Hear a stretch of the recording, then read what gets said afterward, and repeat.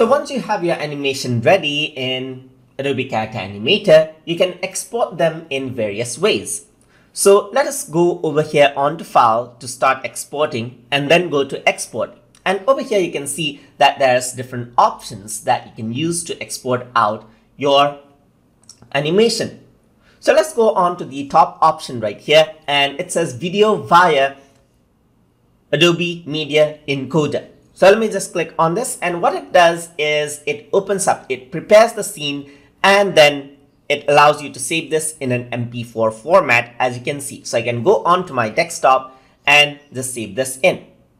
And now it prepares the scene and over here what happens is that it says uh, please enter uh, like start queue to uh, render it out in Adobe Media Encoder. So it sends the data over to Adobe Media Encoder like this and then from Adobe Media Encoder we're able to uh, just give this out. So you can see right here in the Media Encoder you have this and you can select from different presets right here or you can go over here and set out specific settings to export out things. So just like this, uh, I'm just going to select YouTube 1080p Full SD, which is the format that we selected right here as simply known as MP4. Hit the start queue button right here and what happens is that it starts rendering out just like this. So over here you can see that the rendering is happening right here. So this will take a time, take a bit of time. So I'm just going to fast forward this part. And now it has almost completed rendering out as you can see and it has been completed. So what I can do is I can just minimize this and on my desktop you can see that I have my video file right over here. So there's the character walking around on that side as you can see right there and then there's the other scene right here. But as I go forward uh, you can see that there's the character but right from over here there's blank. That is because we did not set out the in and out point for the rendering. So let us do exactly that.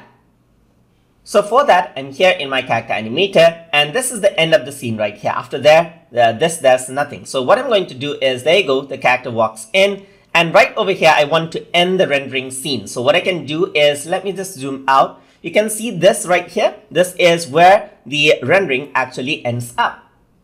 So for that, I'm just going to go around right over here, and then I'm going to set work area to the end of uh, playhead right over here just like that or I can go right over here on till this section and set area to the end of playhead. So only this part is selected for exporting as you can see, not the whole part right here. So now if I were to go to file and if I were to go to export video uh, via media encoder, then it'll only export that part out. So I'm just going to go for master scene 2 right here. I'm going to hit on save and then you can see that there's another list right here. So I'm just going to hit the play button just like this and it'll start rendering out right here.